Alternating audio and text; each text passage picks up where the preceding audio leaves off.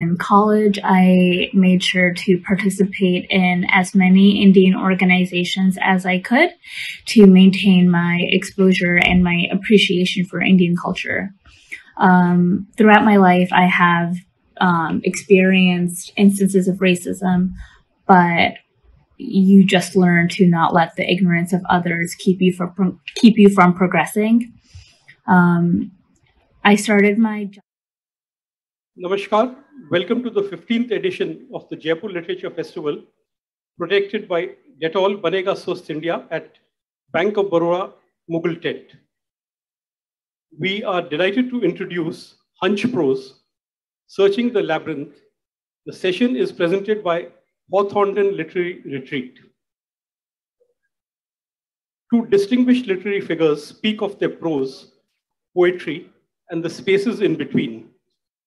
Ranjit Hoskote is an influential Indian poet, art critic, cultural theorist, and independent curator whose dazzling new book of verse, Hunch Prose, engages reflectively with diverse and disparate realities. It is dedicated in its entirety to his longtime friend, Ruth Padel, while individual poems may pay tribute to other inspirations. Padel is a poet, novelist, and an important voice in contemporary literature.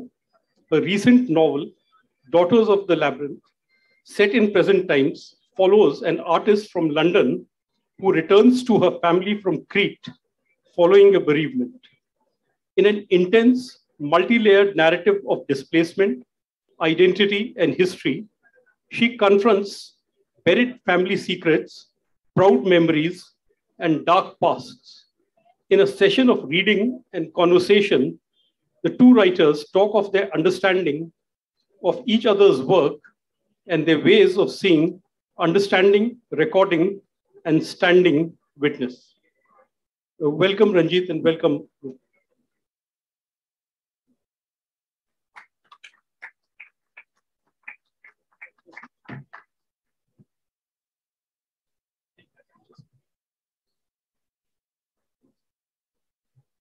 Ruth is an award winning British poet, professor of poetry at King's College London, fellow of the Royal Society of Literature, author of 12 literary of poetry collections, two books on wildlife, and two novels.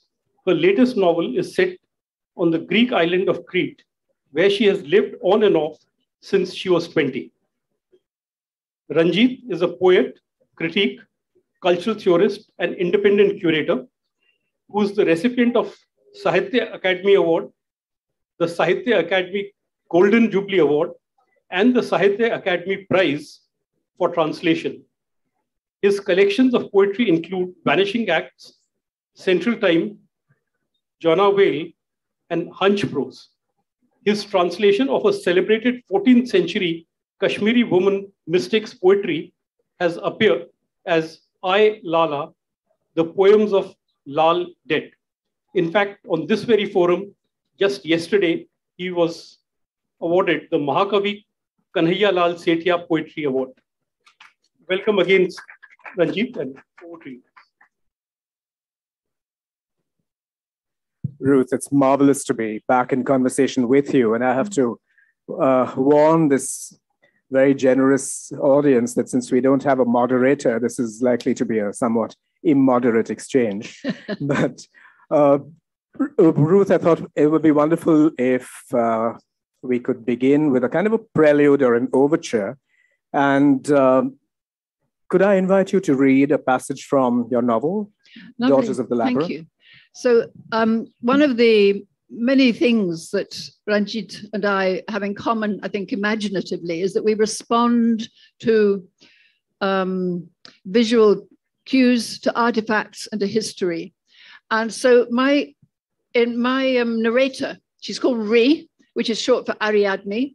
She comes from Crete, but she hasn't lived there for a long time. And she's now back in the city of Chania, which is a city that does have some Minoan ruins, but it doesn't have the sort of palace um, of, of which Knossos has.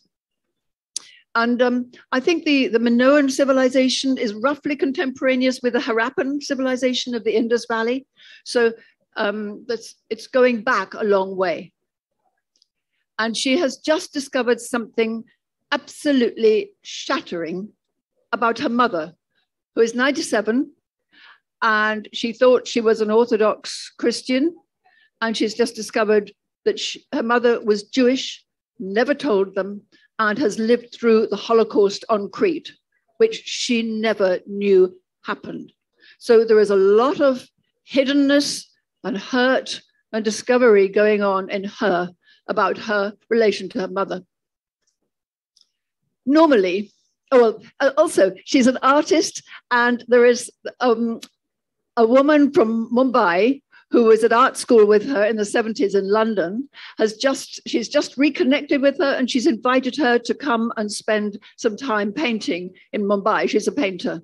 So she's very excited about that. Um, I wander numbly for a while. Everyone is getting ready for the tourist season. They are whitewashing their houses and setting out window displays. Thinking of Mumbai and gateways to India, I buy a few small canvases, stretched and primed, in the art supply shop. Normally, I love walking through the old town. The shades of stone, butterscotch, ginger, saffron, the complicated arches, the courtyards, the balconies, always something unexpected. Today, I keep noticing how we need protection. The church of San Rocco always protected the town from plague. The mosque used to contain a sword of healing. I look up the barrel of its minaret, gold against a cornflower sky. They all met here in Chania, churches, mosques, and synagogues, Muslims, Christians, Jews. The architecture, at least, is harmonious. I picture the German bombers which Papa saw and smoke spiraling up from this town. How did anything survive? Lots of houses didn't. There are roofless houses here too, mustard colored walls, now smothered in deep blue flowers.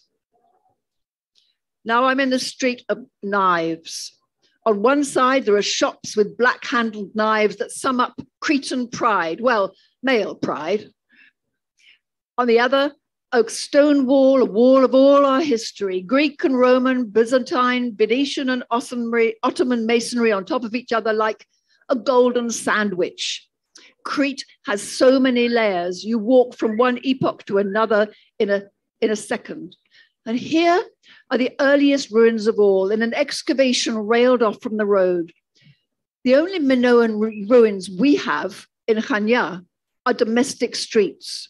A whole unexplored palace may lurk under the modern town, but no one will let you get at it. The roof and fence fling shadows over the gold cobbles. These little streets are Chania's oldest memory, a flash of the unconscious, the labyrinth beneath us all. I tighten my fingers around the railings and think how light still shines upon us from stars that no longer exist. Now, can I? I would like to invite Ranjit to read a poem from his wonderful collection. Thank you so much. Ruth, it was a remarkable passage. And because I have a talent for digressions, uh, it just reminded me of a passage in, in one of Joseph Roth's novels. I can't remember if it's the, the, the Radetzky March or uh, The Emperor's Tomb. But the protagonist has this dream of the Ottoman Empire, of the, of the Habsburg Empire. And it's measured out in terms of uh, precisely this architecture, music. He thinks of churches, of mosques, of uh, the mass, the, the, the azan. And it just strikes me that cultural confluence has really been the rule uh, wherever you look in the world. And yet, there have been cycles of violence which try to erase this multiplicity and plurality. So I'm going to respond to that passage with this poem, uh, which is the last poem in Hunch prose. It's called Letters from Ugarit, and um, is set in a Bronze Age city not far from Crete, It's, uh, Ras, it's called Ras Shamra today. It's on the North Syrian coast. So it's a poem about how, well, this is the poem, never mind what it's about. Letters from Ugarit. Fire saved these words, cut into clay, corded sounds of desert and surf, gouged into flesh. Father, look, the enemy's ships, the sea people, my cities torched. These words saved no one, not sender, not receiver. My country burning, my chariots lost. Words that did not carry across the numb sand. Your messenger saw our threshing floors charred, our vineyards ripped up from their roots. Messenger, we could have been howling on the moon's far side with his barbed whip, Marduk cut down my guardian angel. He broke my shield, he drove me from my house. No one heard, no one cried when they heard these baked sounds. Other hands would draw and fit into tamer molds. Alpu, Betu, Gamu, ox, house, camel, recording barrels and bales Marduk pull me from the river, listing sails and hulls. Marduk, let this cloud pass. Sounds that have rung through every changing, trembling shape. Even when the reed breaks, the ink fades, and there is no moon, save these words. Stunning. so I want uh, you know, when I when I was reading this, was which I've read so many times, again this morning, and I, I, I apologize for using this. I've lost my notes, so it, oh, they're all on here. So you have these two lines in an earlier poem. What can I offer you except fraying knots, coiled riddles, scrolled bones, keys to doors that were carted away by raiders, lost doors I could have opened with my breath. So, Ranjit, your, your, your book is called Hunch Prose, and the hunch is really important. There's the hunch of the Hunchback of Notre Dame, who is this misshapen self that nevertheless releases this wonderful music of bells all over Paris. There's the hunch of intuition, where you have a hunch, you go by feeling, not by thought. And then maybe also there's hunching over because you're hunching over afraid of something or going to be attacked by something. So all these things. So there's there's so much accumulated erudition and knowledge and scholarship behind the work. And maybe that's something we also have in common. How do you negotiate the relationship between knowing things and erudition and feeling? Because nobody, you know, Keats said about about um, about poetry that tries to tell you something. Nobody wants to nobody you know but nobody wants to listen to a man who keeps trying to put his hand in your pocket. So you do not try your poems don't try and put their hands in our pockets. But how do you how do you manage to get that get that fusion of erudition and feeling? Ruth this is a problem i think that we both share which is um, how in fact to keep that knowledge at bay in some ways and to me, it takes different forms. I think it's important for me to follow the sound, to follow the musicality of where that's leading, and also to see if the body of the poem can be a kind of um, theater, if you will. Like the poem that I just read, Letters from Ugarit, actually also includes voices that have been silent for thousands of years and are available to us only through um, through letters that we can barely decipher on, on these clay tablets, which were baked in the fire that destroyed the city. So to me, this is like a primal scene for what we do as, as poets. We are trying to decipher signals. We are trying to look for, uh, for forms of knowledge that come to us through sensation and intuition more viscerally. Would you like to say anything about the hunch of hunch prose? all of those things actually. Uh, the fact that as poets we we speak from a position of vulnerability, yet make a claim to the public sphere. There's also a memory of a time when, as poets, we did have a claim on the public sphere. And now, are we marginal? Can we yet intervene in urgencies? What are the forms of language that we, we have to cultivate for this? And actually, that leads me to the question that I had for you, which is on similar lines. You've, your experience of Crete has been, as it, it's a lifelong commitment.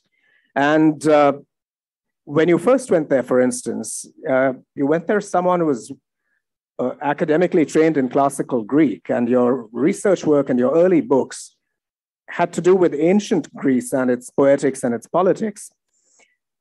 And in Crete, you arrived in the midst of possibly a country that was still recovering from the ravages of World War II and uh, the Civil War at some remove, and uh, also things that perhaps people didn't talk about for a long time the, the forced exchange of populations between Turkey and Greece. So, could you tell us about what that experience was? Uh, placing yourself in this context, becoming part of it in some way, and sharing in these secret histories? Thank you. That, that's an extraordinary question, and I haven't really ever been asked that. Um, so when I went to Crete, it was 1970, I think, 1969, 1970.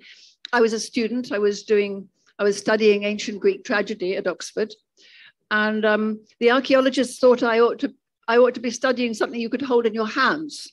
So they sent me off to the trenches, and there I met the Cretan workmen and from their stories, I I heard um, had stories about you know the, the, war and about the German occupation and so on. Um, it was poor; they were poor, um, and yet they are they were so rich in words. And so I learned Greek to speak modern Greek with a Cretan accent, a very heavy Cretan accent, which shocked my Athenian friends.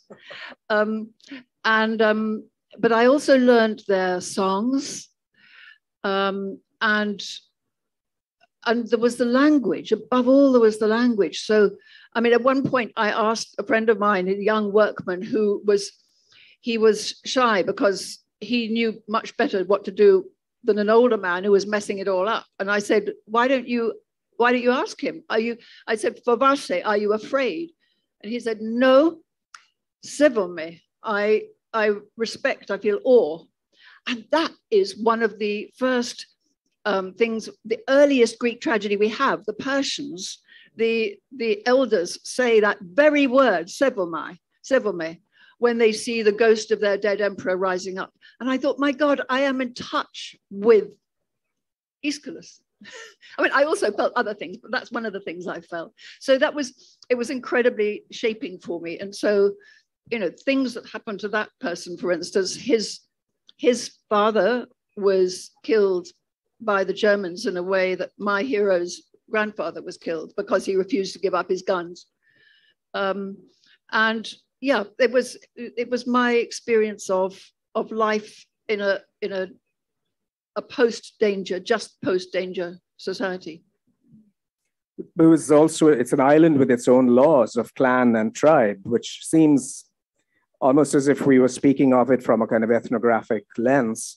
But one of the books that I reread uh, during the lockdown was a set of essays, late essays by Nikos Kazantzakis, who I frankly I don't even. I actually asked this question on social media: Does anybody, uh, you know, below fifty even remember who he was? But he was so popular at one point, and he evokes this Crete of uh, you know uh, having a memory of the Ottoman period, of even a Sufi dervish order, which is still on the island. So it seems as though certain aspects of collective memory were present. Absolutely, and of course, it's um, in, and in the language as well, because a lot of a lot of words you use for words you use every day, like bread, is a is a Turkish word, not a Greek word. Um, you know, I don't hope there are no Greeks here to be offended by this. And when I, and originally, you know, the coffee that we all were drinking, we would call it a, Turk, a Turkish. You'd say, I'll have a Turkish, please, a black Turkish or a Turkish with sugar. Now it's called Greek.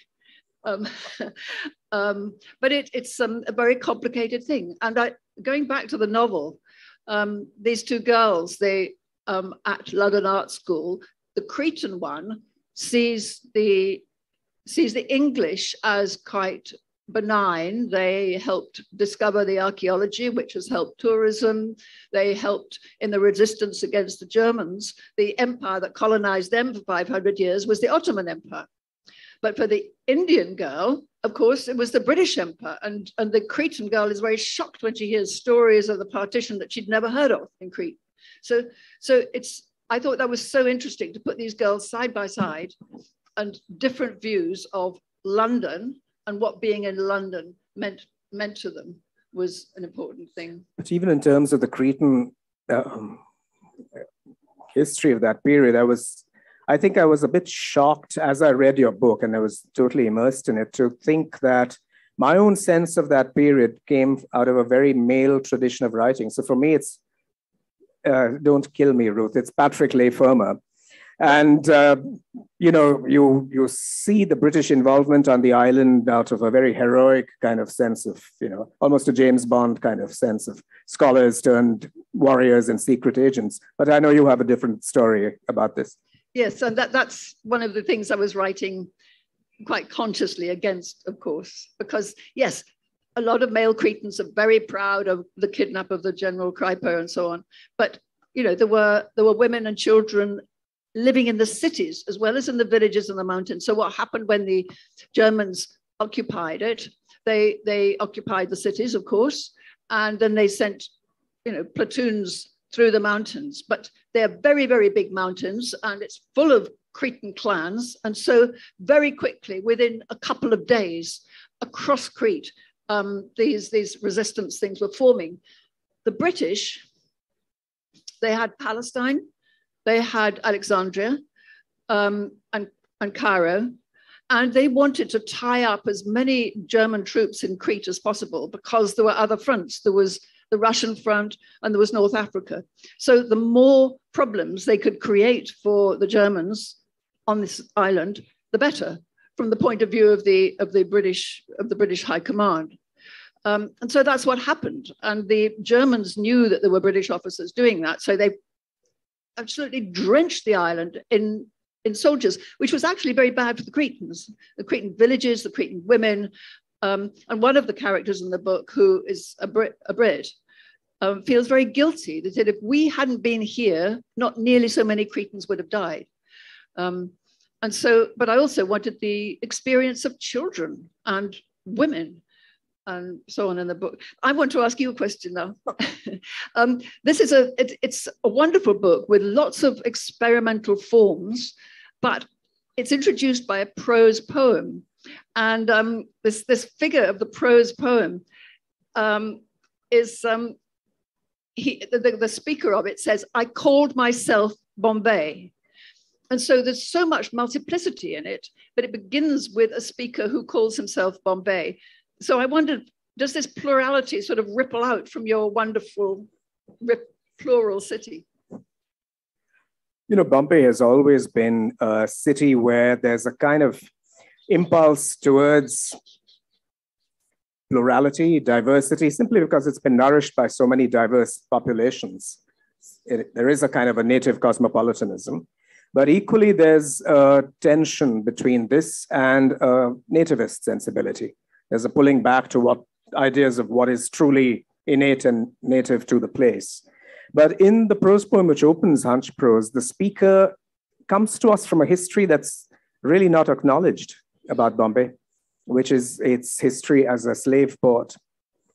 So it's Sidi Mubarak Bombay. That's the speaker of the poem. And uh, he was brought across as a child, an enslaved child, to Bombay in the, in the early 19th century.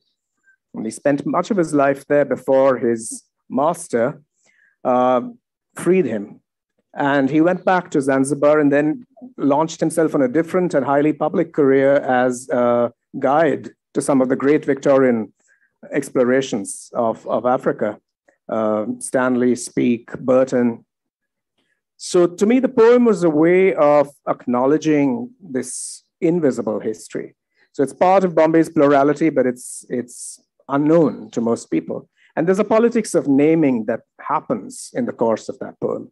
Uh, at various points, he stops to think about and tell us what he's called. So he's called a Siddhi because he's from the Zanj, from um, the coast of East Africa. His master, who seems to have a cruel sense of humor, is called him Mubarak, which is the blessed. But he calls himself Bombay. So there's, a, there's that sense of how someone, even in a vulnerable and subaltern position, could have agency, could have choice, could choose to name themselves and to be part of some larger solidarity. So I think these are these are crucial questions uh, for me, both in poetry and in terms of what you might call a larger sense of what it means to be a citizen, what it means to be uh, part of a larger polyphony and to try and include and amplify as many voices as possible, particularly those that are marginal, that are left out of the record, that are eclipsed or repressed. Well, why, why does he get a prose poem? At least partly because I, I, it's one of the many challenges that the lyric poem faces. This is question that you've often enough recurred to and that you've opened out. So I wanted to break up the idea of a short lyric poem that expresses a singular subjectivity and its and its questions and problems. So how does how does this poem open up more? How do I get different kinds of voices into this poem? So among among the things that I do in that poem is also to distort the English of of the poem, what I'm going to provisionally call the Angrezi of that poem, with linguistic interferences. So there are some phrases and sentences that are modeled on Gujarati or Hindi, Hindustani, the languages that Sidi Mubarak Bombay would have spoken. So again, it felt like a stage for those kinds of linguistic experiments. But it's, it's wonderful. Um, so, but another aspect of it is the climate crisis. The climate crisis and, and, the environmental crisis more deeply informs everything in the book. And um, there's one absolutely heartrending journey, the, the longest journey, um, by a little Arctic fox, a little female who goes, who travels 3,506 kilometers on ice from Norway to Canada. And then we get sort of the mythical golden deer um, moving from one burning forest to the next. So how do we, I mean, there will be lots of poets in the audience. How do we write poems that are up to this apocalypse that we're facing, which we have caused? And I mean, we can't write about this all the time. We've got to set it in our own time. What do we do? The myths don't vanish. I mean, that's also the lesson that I take away from your book, Daughters of the Labyrinth. Uh, archetypal patterns, uh, ways in which we've tried to account for our experience, these remain with us. The question is when the subject matter, so to speak, of it and our relationship with it is breaking down, uh, how do we retrieve this? How do we retrieve this question came up the other day also in a discussion of Shradeep Sen's book that we did. Uh, how do you take the formal uh, cycle of the seasons and make it relevant to a time when everything is so incredibly unseasonal? How do we celebrate the heroism of the survivor? And how do we try and do this across species? I think there's a tremendous sense that we all have today that this idea of humankind as a sovereign species is completely untenable and that we have to reach out to the experiences also of other species. So to me, when I read this, I mean, starting point was a news report.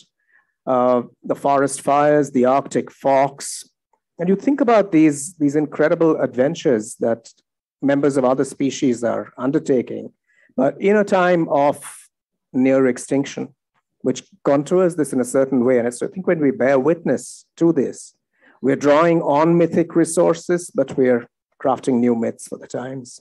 Yes. yes. I mean, what I notice, I mean, I teach um, undergraduates in, in London, and their poems there are still, everybody has to work out if you're 20, if you're 19, 20, 21, or the age I am, everybody wants to work out their own identity. So they are writing poems about their own identity.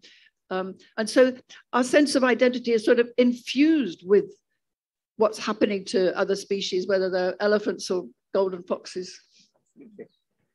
But speaking of myth and its relevance or how we transmute it in some ways, uh, at some point in the middle of reading your novel, it came to me that, in a sense, the deep metaphor of the book was Pandora's box or Pandora's jar in the original.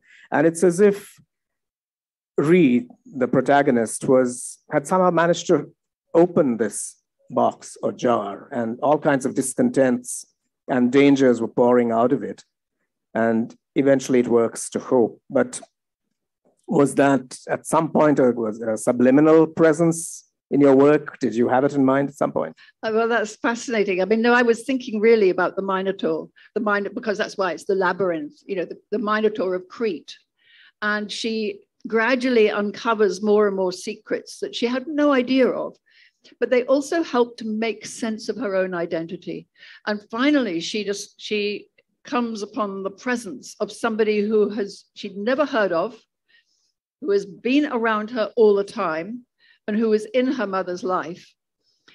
And although it's a terrible shock to her, it also makes sense of how her mother treated her. And I and I, I did a, quite a lot of work about um, inherited trauma and third generation trauma.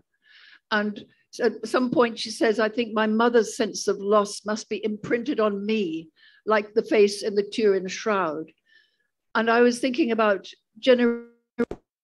you know, something that happened to a mother, the child, the daughter, in this case, can can can feel it too, knows it in some part of herself.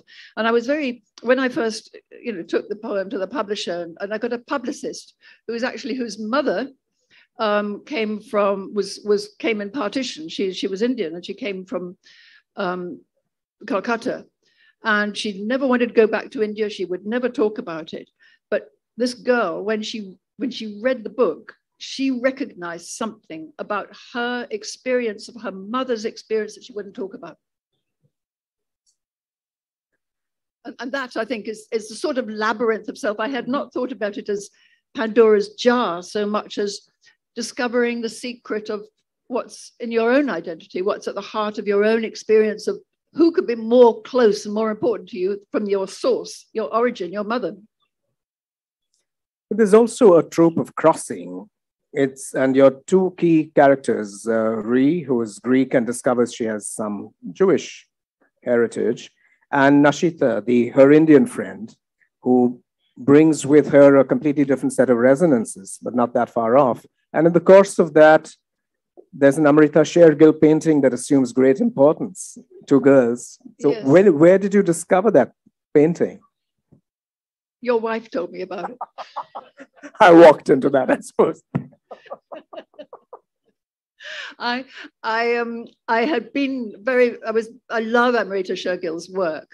And it was a Pakistani friend who told me to go to her her exhibition that was about 20 years ago in the Tate. And so I had many books about hers and I studied her. Um, and in the in you know, in the story, my character's story, her friend Nashita tells her about her. And she is fascinated because she is Cretan living in London and she's now married a Jewish man, and this is all very strange to her. And Amrita was half Jewish Hungarian and half Sikh. So, um, so she was a half and half girl like her. And, and Amrita died so tragically young. And to have, to have invented Indian modernism as a half Jewish Hungarian girl is extraordinary. And so uh, she really gets very excited about this. And then your wife Nancy told me about this two girls in which one is almost blind um, and has no eyes, and, and it seems to express Amrita's sense of her of the two parts of herself. Um, and that that painting becomes very very important to her in the book, but also because um, for the source of, of, of the, the story, there are two girls, a photograph, the one photograph from all the Jews who were taken by the Germans. And I won't tell you because I, if you read the novel, I it, it's an extraordinary story and a heartrending story, but it's completely unique to Crete, what happened to them. But um, there were two girls who were Jewish sisters in this little town of Chania. And Chania is, an, in a way, a sort of mini Bombay. It's, it's, um, it's a little port town with a long, multiple history, but the nativist has, has won out. And so, so it's just, it wants to be just Cretan um, Orthodox. it didn't want to have the memory of the Jews. It was a very complicated thing. And um, anyway, the man who rescued this last synagogue was sitting one night in the synagogue quietly. He had rescued it from rubble, and people were coming, and a woman walked in. She was Greek, but she obviously was had lived in America a long time. And she said, "Oh, this is a synagogue. I wonder if you could help me." And she said, um, "I grew up here in Chania, and I had two school friends. They, they were Jewish, and, and I wondered if you knew where I could find them." And he he sort of sat her down and then he told her that all the Jews had, had died. And um, then she brought out this photograph, the photograph of the only two people who had, had survived. Uh, uh, the photograph had survived, and the, uh, two, the only two people of those all those who drowned. And then she wrote out for him uh, an account, an eyewitness account of the arrest by the Germans. And one of these girls had called up to her and said, Will you look after my books for me? And she'd said, Yes. And there they are, these two girls, they're sort of, as it were, 12 and 13, just on a balcony in 1943. And within a year, they were under the sea. Yeah, I've yeah, it's it's it's a history that just breaks your heart. It's um, when we talked about this before, it reminded me of an exhibition I went to long, long ago when I was a teenager. It was an exhibition of drawings and paintings by the children in uh, uh, Theresienstadt, which was the, the paradise ghetto, which the Nazis had presented as a, as a kind of showpiece for visiting Red Cross and uh, you know diplomats. And just the horror of seeing these beautiful drawings and paintings and knowing that as soon as the delegations had left, the, children's were the children were going to be put onto transports to the death camps. Yeah. So that, that moves us on to another thing I'd like to ask you about, because you, you have this um, quite late on, you say, where in this garden of unsealed tombs did we lose our serenades? And this sense of loss comes through so much of the poems. And yet they are celebratory. How, how do you get, I mean, I, what I felt is that your sense of delight in language, in art, in made things, and in the joy of people making things is, the, is somehow what bridges the sense of loss and the sense of celebration? Is that, could, is that area? I, I think that's absolutely valid. I think the only way we can deal with the, the visceral experience of mortality and extinction is by thinking of what can outlast us. It can take the form of a small ivory icon that a Stone Age artist made, or a painting today, or a song that might be forgotten but might be discovered by someone else. And I think it's that claim to, to, to be vital and to remain that really has uh, inspired human survival and the human adventure. So I think both of these are incredibly present to us at this time of mass extinction. Because um, one of the things that you're doing in your sort of um, curatorial hat is you're doing a, a whole series of, of um, um things online about lots and lots of different speakers talking about the environment and artists, artists and scientists and environmentalists all contributing. We'd like to say a little bit about that because it seems to me to infuse your work at the moment. State of Nature, which is this project that um, uh, that Ravi Agarwal invited me to join. So we've co-curated the latest iteration of it, which takes the form of an exhibition and a conference and a set of uh, lectures and presentations, which all deal with this question of uh, how to deal with the fact of nature changing around us and us changing as a part of nature. What is the recalibrated relationship and what can we do to bear witness to this through the arts, through poetry, through what is often called ecopoetics? And it seems very, very important to bring together what otherwise remains trapped in islands of expert knowledge so that poets, artists, anthropologists, uh, scientists of various kinds can actually come together and find common languages to speak in. And that seems to be uh, a compelling need at this point. Otherwise, we're uh, there's, there's, a, there's a sense of impending doom, but no corresponding sense of how we can deal with it in however modest a way. And also, I think with the with the young, we're, we're, looking. I mean, Greta Thunberg is a great inspiration, and um, and I'm thinking now of young poets, young writers. What are they going to write? How have you any words for them, Ranjit? um, how can how can they how can they be their best selves in this time? I'm actually at the strange stage when I'm. Uh, it sounds absurd, possibly to say it, but I'm trying to learn from them because the world that they've come into is is has challenges that I no longer feel I can fully deal with. And uh, what is what does that mean? What does it mean to be a child at a time of possible mass extinction? What is the form of consciousness that that brings into being? So I think we're launched on a on a great arc of relearning, and with some luck, we'll still be in time. But but this brings me to a question I had I had for you, uh, really. Uh, time. But, but we still have some time. So, uh, Ruth, I'm going to ask you about the work you've done in committing yourself once again to the East Mediterranean, to the Aegean, through your, your visits to Lesbos, to what is uh, an island once associated with Sappho and today greatly associated with this porous membrane between refugees who are homeless and people who are hospitable in the first place but are now anxious and how that's translated both in terms of activism and uh, your collaboration with, with a visual artist. Could you, could you speak to us about that? Yes. So um, the, big, the big migrations coming from the Syrian uprisings and the war there happened in 2015 when um, they were all trying to get away. It's a very narrow crossing between Lesbos, which is right up next door to, to under where Troy was, and, and quite near to sort of um, uh, Istanbul and so on, and the peninsula that stretches out into the sea from Turkey there. So it's a really of a, of a crossing. It could take you only 20 minutes in a sort of reasonable sea in a reasonable boat. But um, these poor people are being smuggled over by um, people who sell them um, at great cost um, these sort of uh, life jackets which actually don't work. I mean, it's extraordinary. There were, must have been factories filling these things with sawdust to sell to these desperate people with their children to come across. And of course, a lot died. Um, and so there was a there was a camp set up.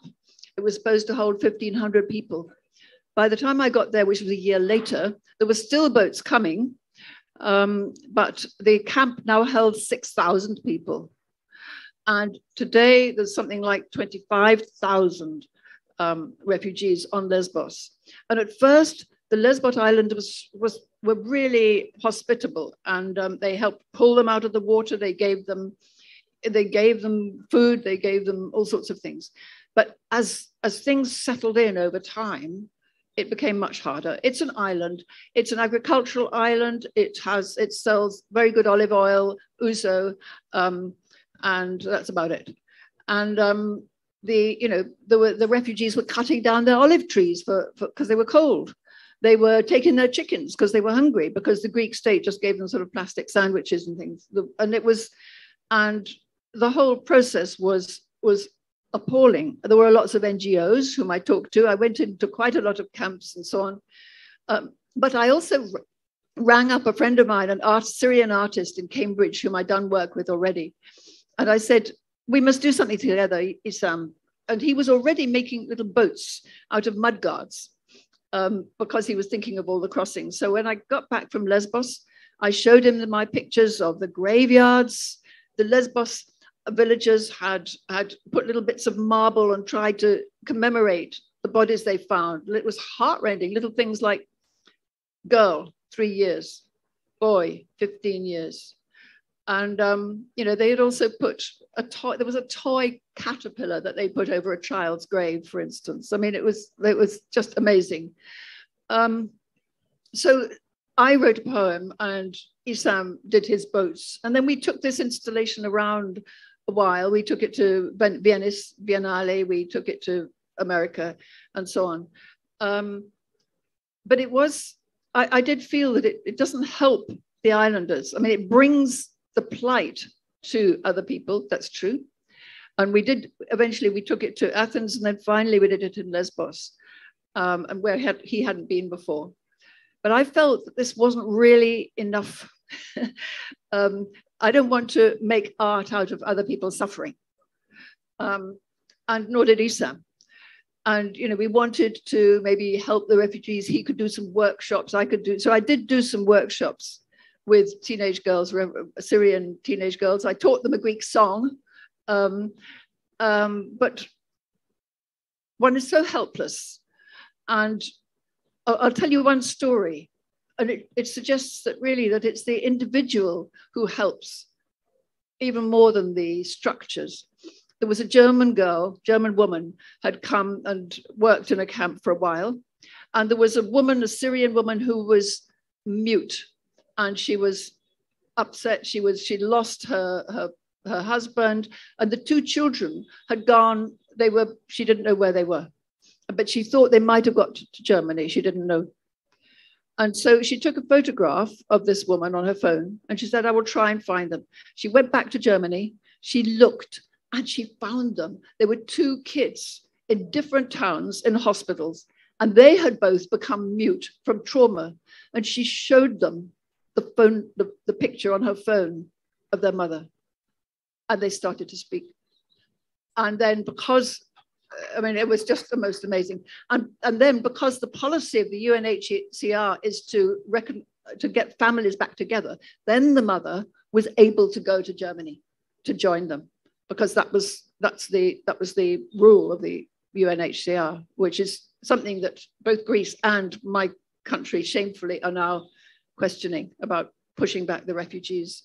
So, so the island, which had been a great island of hospitality, was now feeling threatened. And I feel that that is an illustration of what's to come. Of, of, you know, the, now with the, the war in, in the Ukraine, it, we are all, everybody's going to become more selfish to try and protect their own patch. I think we have time for literally one question in the front row or multiple questions. Okay, let's begin with Shadi. Oh. So uh, it's always a treat to read both your work and hear you both because you're oozingly scholarly and uh, subtly lyrical always. But because there's a problem of time, I'm going to just uh, touch upon Hunchprose because if I see the uh, trajectory and the arc from, say, Zones of Assault, which is your first book, down to Hunchprose, uh, there's a very, very conscious sense of minimalism which you employed in this particular book, including something very brave like leaving blank pages quite often. Um, not just, you know, recto, which gets left out if you have a sort of subtitle page, but you actually have, as you know. Um, that, and also the fact that your line lengths are short and there's a lot of white space around. I've read the book a few times over, and I know it's a very conscious device. I'll be very curious to know how you use this painterly element with the white space and the inked part to why and what was the impetus behind that? I think, Shadeep, thank you for the question. I think that comes more from music for me. Just the recognition over the years of um, how the silences in music or the pauses in a score are just as vital as whatever gets sounded, whatever appears as sound. So for me, this was all about really allowing for uh, whatever that is unsaid and resists language in silence to make space for that. And also in a way to treat the book as a set of invitations. So it's a way of including the reader and to, I'm not actually saying scribble notes, but the suggestion is that there is, there is, it is, if you will, a sort of hospitable gesture to open the book up to readers in, in a, almost a literal way. And also because I'm working increasingly with fragments and bringing them together. So what is what swirls around the archipelago, archipelago of fragments is, is just as important as the words. That, that goes back to the poem you, we started with, the Ugur, Ugarit. And I discovered something wonderful. I met a cuneiform scholar just before I came here, and he told me something absolutely amazing. The Hittite for water is wa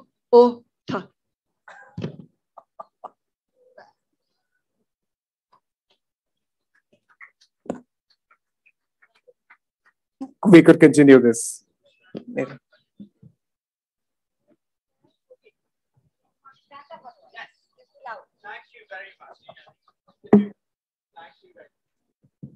Can you hear me? I'm going to go back to Zones of Assault and to Shahid because I think poem one that opens Hunchprose is Sidi's Bombay is very much like Shahid's Shahid in Witness in Arabic and Beloved in Persian, and also his Kashmir, Kashmir, Kashmir, right? So, what are the different Bombays for Sidi? And what are the different Bombays for you? And who are you in conversation with in that narrative? Great question. It, it is a, it's a huge question, but I think for me to, to belong to Bombay means to belong to multiple languages and to be in some sense constituted by multiple languages and their experiences. So if anything, it's a, it's a kind of, it's a kaleidoscopic belonging that this city invites you to be part of. So there's something in the way the city was made and the way the city functions that really resists unitary, singular, narrow, bigoted identities. So that's it. So my question here was really how does this enslaved person brought across as a child learn to belong, make things his own, and create a set of relationships out of adversity and vulnerability, and in some sense learn to heal himself. So to me, th these are the these are the redemptive possibilities of Bombay or Mumbai. I think I think in a way it's a it's a kaleidoscope of relationships. I mean, one of the questions I didn't ask him is who is the I in these poems, but of course you can't answer that. but but it, it's this constant relating, noticing, giving, yielding, whirling around. Yeah. Thank you Sorry so much. about the fact that we don't have time, but both Ruth and Ranjit are going to be signing their books, so they can take your questions over there also. Thank you so much, Ruth Padel and Ranjit Hoskote. We'd also like to thank Hawthornden Literary Retreat for their support.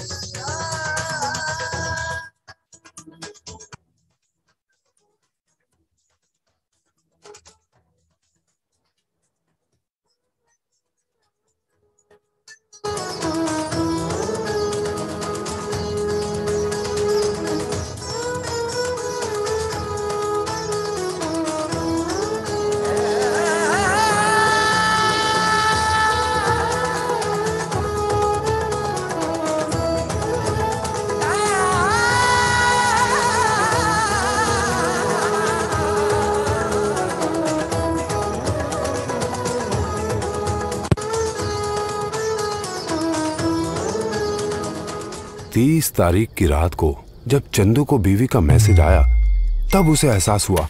वो तो बहुत late हो चुका है। Payroll department के संजय ने बोला था, नया अकाउंट खोल लो, वरना सैलरी नहीं मिलेगी। तो बस बॉब बॉल डाउनलोड किया और झट से